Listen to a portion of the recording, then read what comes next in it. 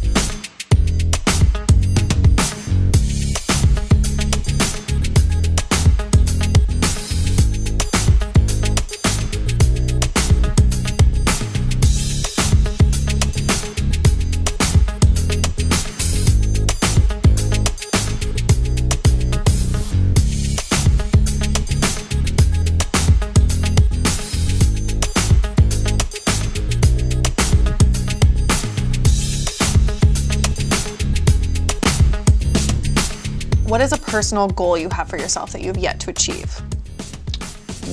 So I did my third Ironman a couple years ago Ooh. and got to a point in it that I was on pace to possibly make it to the World Championships. Like I was having the race of my life uh, and I suffered an injury midway through and had to walk the rest of the race.